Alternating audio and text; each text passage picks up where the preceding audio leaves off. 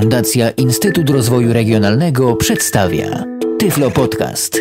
Audycja o technologiach wspierających osoby niewidome i słabowidzące. Witam w kolejnym Tyflo Podcaście przy mikrofonie Michał Dziwisz. Jest wiele urządzeń, które pomagają osobom niewidomym w codziennym życiu. Są to chociażby mówiące wagi, ciśnieniomierze, mm, testery kolorów, czy na przykład urządzenia, jakie informują nas o poziomie cieczy w jakimś naczyniu. Ale jest jeszcze jedno urządzenie, o którym w dzisiejszym odcinku chciałbym opowiedzieć, którego niestety jeszcze na chwilę obecną na polskim rynku nie ma. Jeżeli ktoś jednak będzie zainteresowany zakupem tego urządzenia, można je sprowadzić bezproblemowo z Wielkiej Brytanii. Urządzenie, o którym dziś będę opowiadał, nosi nazwę PenFriend. Cóż to takiego jest? To jest audioetykietownik tak zwany, czyli urządzenie, które pomoże nam zlokalizować różnego rodzaju przedmioty. No zapewne w życiu codziennym mamy takich przedmiotów, y, których zawartości nie jesteśmy pewni dużo. Są to na przykład pudełka z płytami, pudełka z kasetami, są to różnego rodzaju słoiki. Ostatnio dobrą praktyką jest opisywanie w brailu różnych lekarstw. Niestety ta praktyka, skądinąd bardzo dobra, nie tyczy się jeszcze wszystkich leków. Więc także czasami mamy wątpliwości, cóż to takiego y, jest w tym pudełku, jakie to są na przykład tabletki. Jeszcze wiele, wiele innych zastosowań może mieć taki audioetykietownik dla osób niewidomych. A tu proszę, instytucja, która pomaga brytyjskim niewidomym, czyli Royal National Institute of Blind People, taki odpowiednik y, Związku Niewidomych naszego polskiego, ostatnio wprowadził do swojej oferty urządzenie, które nazywa się Pen Friend. Zadaniem tego urządzenia jest y, informowanie osoby niewidomej o tym, co znajduje się w danym pudełku, co znajduje się na przykład w danym słoiku, warunek jest jeden. Ten słoik czy pudełko musi zawierać odpowiednią etykietę. Takie etykietki dostajemy z zestawem Penfrienda. Y, na sam początek otrzymujemy ich 127. Oczywiście możliwe jest dokupienie kolejnych zestawów etykiet. Y, w każdym takim zestawie y, znajduje się 380 etykiet. Zatem, no, trzeba przyznać, jest tego całkiem sporo. Nawet i te 127 na dobry początek wystarczy, ale jeżeli ktoś y, miałby zamiar sprowadzać Penfrienda, to dobrze radzę zaopatrzyć się w zestaw y, kilku mm, takich pakietów etykiet, no bo wiadomo, yy, przesyłka z Wysp Brytyjskich szła będzie trochę i też nie co dzień, ani nawet nie co kilka tygodni czy kilka miesięcy chcielibyśmy robić zakupy na wyspach. Jak wygląda Penfriend? Od tego może zacznijmy. Pen to po angielsku długopis. I rzeczywiście, jeżeli ktoś y, miałby dosyć y, mocno rozwiniętą wyobraźnię, będzie w stanie wyobrazić sobie to urządzenie jako długopis. Mi osobiście ono przypomina bardziej taki zabawkowy mikrofon. Urządzenie charakteryzuje się plastikową obudową, opisując je od góry. Mamy tu głośnik. Ustawiając urządzenie przyciskami, o których y, opowiem za chwilę do siebie, to na tylniej ściance tego urządzenia, yy, zaraz pod głośnikiem, mamy zaczep do paska na szyję, który to pasek także jest w zestawie. Na tylniej ściance Penfrienda znajduje się także klapka, yy, pod którą schowane są dwie baterie AAA to są te takie cienkie paluszki. To są oczywiście baterie wymienne, można je zakupić w sklepie RNIP. Można także kupić je w dowolnym polskim sklepie, bo nie są to żadne specjalne baterie.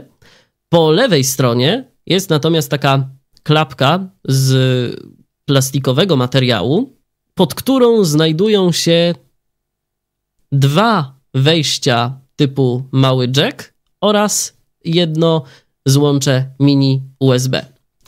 Idąc od góry, pod tą klapką, pierwsze złącze to jest y, mały jack na mikrofon. Można jeszcze w zestawie razem z Penfriendem dodatkowo zamówić sobie taki mikrofon do tego urządzenia, ale także mm, dowolny inny mikrofon komputerowy z małym jackiem bezproblemowo będzie z Penfriendem współpracował. Później yy, kolejne złącze to jest port mini USB, za pomocą którego możemy podłączyć PenFrienda do komputera, a kolejne złącze to jest złącze słuchawkowe, gdybyśmy chcieli korzystać z PenFrienda, nie zakłócając y, reszcie otoczenia naszymi działaniami, chociażby pracy. Mm, dodatkowo także jeszcze jedna informacja, jeżeli zdecydujemy się na korzystanie z PenFrienda za pomocą y, słuchawek, będziemy w stanie dłużej na nim pracować na tych samych bateriach, bowiem głośnik zużywa po prostu więcej energii. Teraz przejdźmy do przycisków, które znajdują się na PenFriendzie. Idąc od góry także, pierwszy przycisk to jest przycisk włączający całe urządzenie. Kolejny przycisk składający się de facto z dwóch guzików to jest bardzo charakterystyczny przycisk, spotykany na przykład w różnych y, odtwarzaczach MP3 albo chociażby w pilotach do telewizora. Y, przycisk do regulacji głośności. Kiedy naciśniemy pierwszy ten przycisk y, od góry, no to wiadomo, podgłośnimy, natomiast kolejny przycisk spowoduje ściszenie odgrywanego w danym momencie dźwięku. Trzeba oczywiście dostosować sobie głośność y, urządzenia do własnych potrzeb. Kolejny przycisk to jest przycisk trybu pracy. Y, PenFriend posiada trzy tryby pracy, o których opowiem za chwileczkę. Jednak na razie skupmy się na tym, co urządzenie w sobie posiada. Kolejny to nie jest właściwie przycisk, to jest taki niewielki otworek. Ten otworek to jest mikrofon, bowiem PenFriend posiada także wbudowany mikrofon. I właśnie do tego mikrofonu mówimy, nagrywając różnego rodzaju notatki. Ostatni przycisk, zdecydowanie bardziej wypukły w porównaniu do opisanych przed momentem przycisków, to jest przycisk nagrywania. I ten przycisk, szczerze mówiąc, wykorzystywać będziemy najczęściej. Teraz, cóż właściwie potrafi PenFriend i jak właściwie działa? Na dobry początek może opowiem o zasadzie audioetykietownika, która to funkcja jest e, najczęściej wykorzystywaną funkcją PenFrienda i zapewne do której będziecie go używać najczęściej. Jak już wspomniałem, z zestawem mamy także etykiety. Te etykiety możemy nakleić na co tylko chcemy. Możemy je nakleić na przykład na pudełka z płytami, Mam tu obok siebie taką właśnie płytę, na której naklejona jest etykietka i zaraz będę za pomocą tej płyty demonstrował działanie PenFrienda.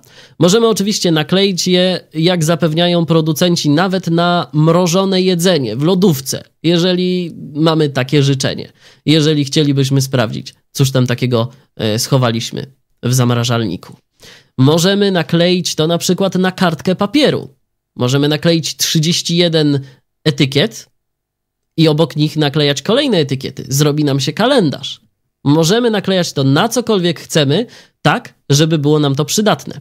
Możemy na przykład zabrać penfrienda ze sobą i zabrać także jakąś niewielką kartkę. Na tej kartce możemy nakleić sobie kilka etykiet i zapisywać tam swoje bieżące notatki, bo także w ten sposób można wykorzystywać penfrienda. Urządzenie posiada gigabajt pamięci wewnętrznej, w związku z czym nie mamy mm, zbytnio potrzeby martwienia się o długość nagrania. Długość nagrania jako taka nie jest limitowana. Jedyne co limitowana jest mm, długość ogólnie mm, ze względu na pamięć operacyjną urządzenia. To jest 70 y, godzin nagrania. Tyle właśnie zmieści nam Pen Friend. Tyflo Podcast. Teraz może słów kilka o tym, jak właściwie należy z tego urządzenia korzystać. Żeby wygodniej nam było pracować, ja teraz podłączę PenFrienda do swojego zestawu audio, podłączę do miksera, żeby można było to doskonale słyszeć. Oczywiście, jak przygodę z każdym urządzeniem, należy rozpocząć od jego włączenia. Wspominałem, że pierwszy od góry przycisk to jest przycisk włączenia, i tak też jest i w tym przypadku. Aby dokonać uruchomienia PenFrienda, wystarczy przytrzymać ten przycisk przez około 3 sekundy. Właśnie zrobię to teraz. Kiedy usłyszymy taki właśnie sygnał, oznacza to, że PenFriend jest uruchomiony i gotów do współpracy. Kiedy nie będziemy chcieli już go używać, wystarczy ponownie nacisnąć ten sam przycisk.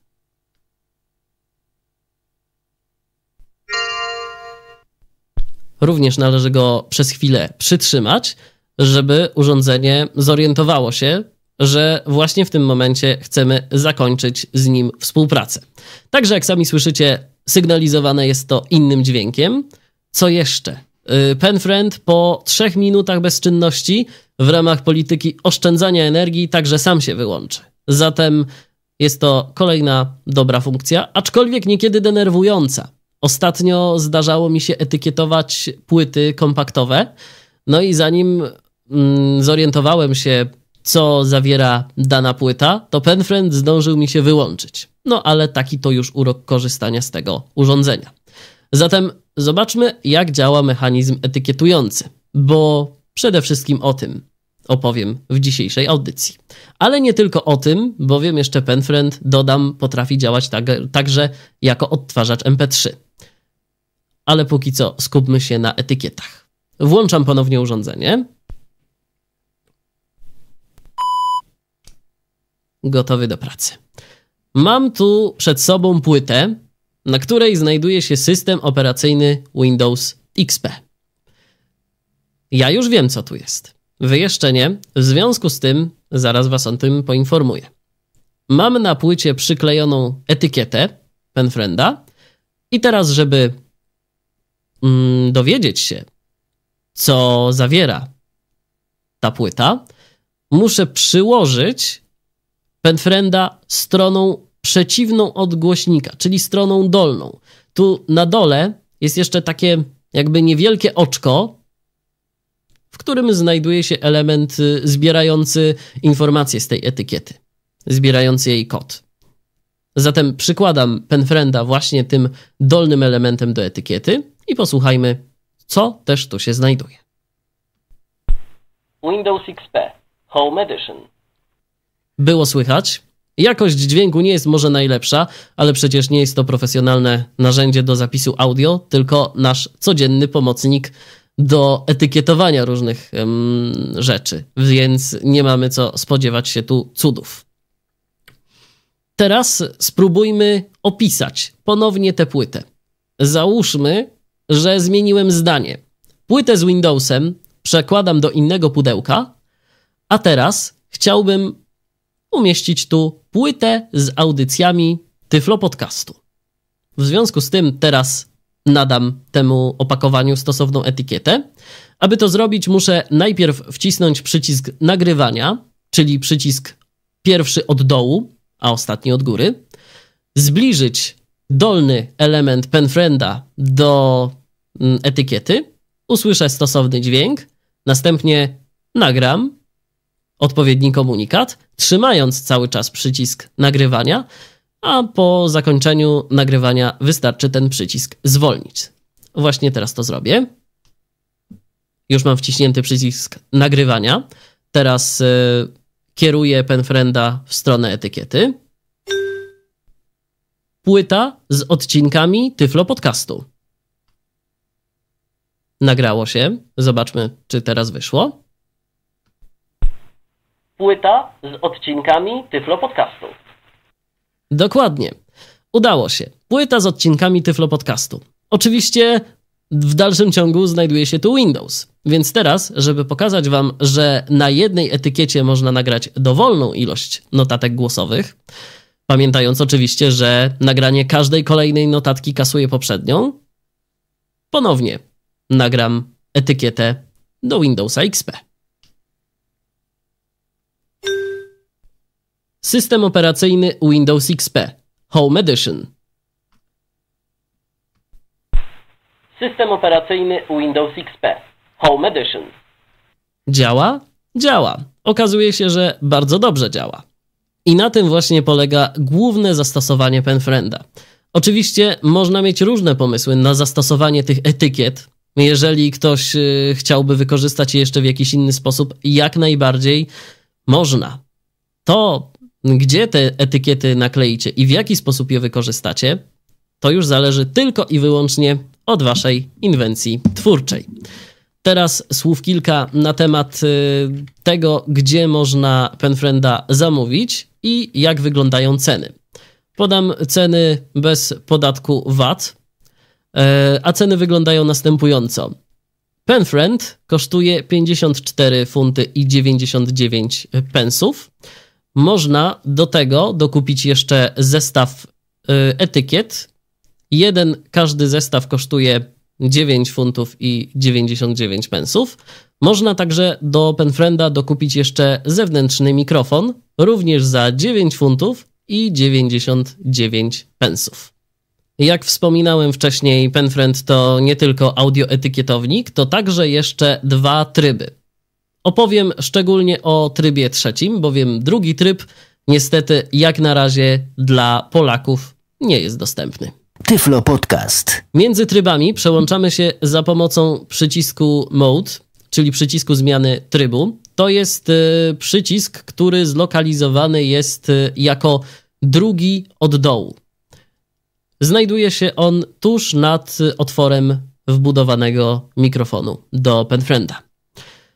Aby przełączać się pomiędzy trybami, wystarczy nacisnąć y, dłużej ten przycisk i poczekać. Naciskam go po raz pierwszy. Na razie przypominam, jestem domyślnie w trybie audioetykietownika. Teraz naciskam ten przycisk.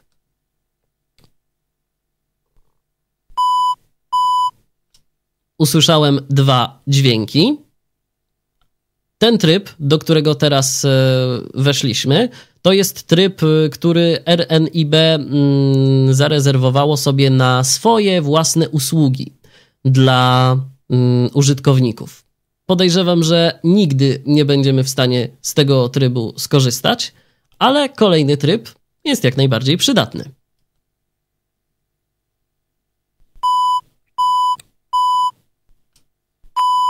Ten tryb to odtwarzacz MP3. Za moment opowiem, w jaki sposób e, umieścić pliki na Penfriendzie. Jak na razie odtwarzacz MP3 jest pusty, w związku z czym Penfriend automatycznie przeszedł do trybu audioetykietownika. Teraz słów kilka o tym, w jaki sposób dokonać e, kopii zapasowej e, Penfrienda i w jaki sposób można skorzystać z funkcji odtwarzacza MP3. Razem z Penfriendem przychodzi również przewód, za pomocą którego można połączyć e, to urządzenie z komputerem za pomocą portu USB. Bardzo ciekawe rozwiązanie i trzeba przyznać, że przydaje się, chociażby po to, żeby dokonać e, kopii zapasowej tych wszystkich materiałów, jakie mamy zgromadzone na Penfriendzie, czyli przede wszystkim naszych e, etykiet, oraz żeby umieścić w stosownym folderze pliki MP3, które za moment będziemy tu wgrywać. Aby podłączyć Penfrienda do naszego komputera, muszę odemknąć tę klapkę, o której mówiłem na samym początku, i połączyć przewód mini USB z Penfriendem. Teraz właśnie w tym momencie tego dokonam, co będzie zresztą zaraz słychać. Dialog A1 Co ma zrobić system Windows? Otwórz używanie Windows Media Player. Widok listy 1 z 3. I mamy tu pytanie, co ma zrobić system Windows z tym plikiem, a właściwie z tym urządzeniem, które nam się tu otworzyło w tym momencie. Zatem przesudę się strzałką. Otwórz folder, aby wyświetlić pliki. Używanie Explorator Windows. To będzie najbezpieczniejsze rozwiązanie w tym momencie. Otwórz folder używając eksploratora Windows. Template, tekst notatnik, Explorator Windows, App 4, niewybrane, widok listy 1 z 3. Pozwolę sobie zrobić z tego listę, czyli kombinacja Alt-W i literka L. I teraz opowiem o zawartości tych folderów, które tu mamy.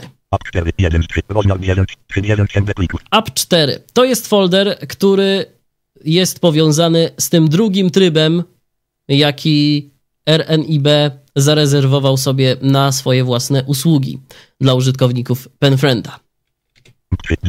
Folder MP3 to folder, do którego za moment postaram się yy, wrzucić jakąś piosenkę, aby pokazać zasadę działania odtwarzacza MP3.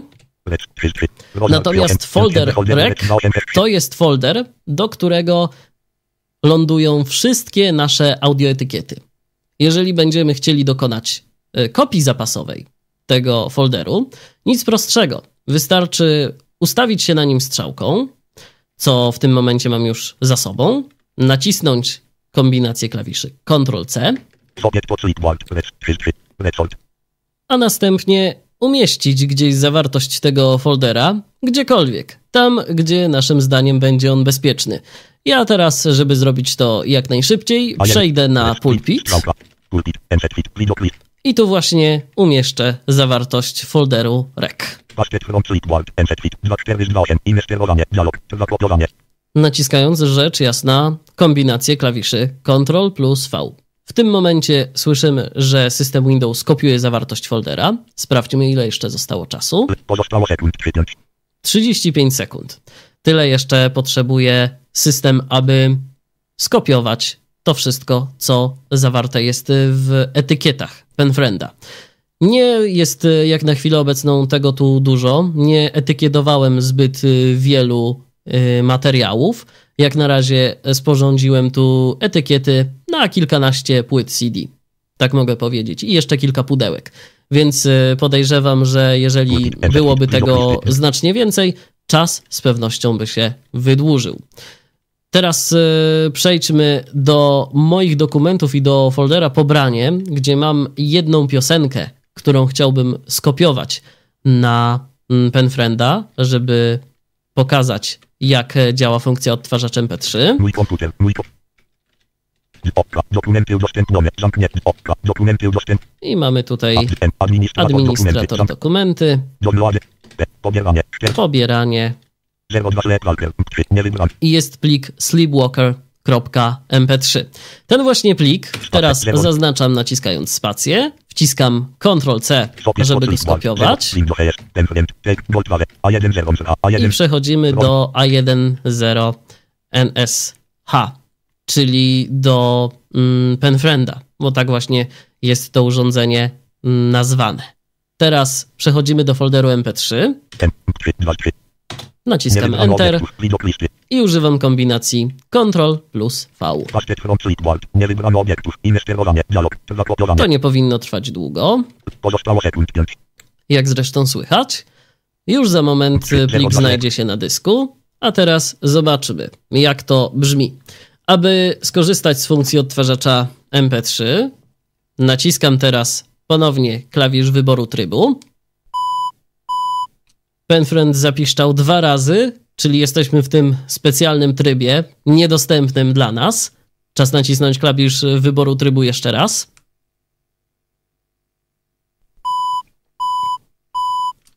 No i proszę. Mamy odtwarzacz MP3. Ten odtwarzacz właśnie w tym momencie gra piosenkę, jaką wrzuciłem na PenFrienda. Słyszymy, jak PenFriend gra podłączony do miksera, a teraz pozwolę sobie zaprezentować brzmienie tego głośnika, który jest wbudowany w samo urządzenie. Zatem odłączę PenFrienda i przytknę po prostu go najzwyczajniej w świecie do mikrofonu. Posłuchajcie, jak to będzie brzmiało.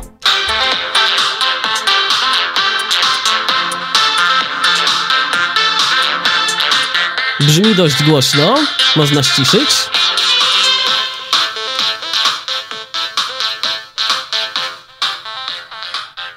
I tak właśnie brzmi PenFriend emitując muzykę z pliku MP3. Jeżeli znudzi nam się odsłuchiwanie muzyki, można po prostu wcisnąć jeszcze raz klawisz wyboru trybu, w związku z czym przejdziemy do trybu pierwszego.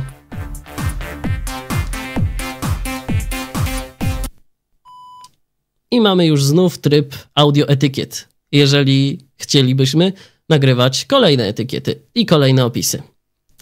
Podsumowując, wielka szkoda, że Penfrienda nie ma jeszcze na naszym rynku. Miejmy nadzieję, że niebawem się pojawi. Jak jednak wspominałem, nie jest wielkim problemem zamówić to urządzenie, bowiem y, można, co zresztą ja y, miałem okazję przećwiczyć i zresztą też nie tylko ja, więc y, śmiało można zamawiać to urządzenie. Jeżeli ktoś byłby zainteresowany, to wszelkie informacje znajdzie na www.rnib.org.uk. Powtórzę jeszcze raz: www.rnib.org.uk. Tam znajduje się odpowiedni sklep i za pomocą tego sklepu można złożyć zamówienie. Najlepiej jednak skontaktować się bezpośrednio z RNIB za pomocą poczty elektronicznej i tą drogą załatwiać wszelkie niezbędne kwestie związane z Penfriendem. Dziękuję bardzo za uwagę. Do usłyszenia. Był to Tyflo Podcast. Audycja o technologiach wspierających osoby niewidome i słabowidzące. Audycja współfinansowana ze środków Państwowego Funduszu Rehabilitacji Osób Niepełnosprawnych.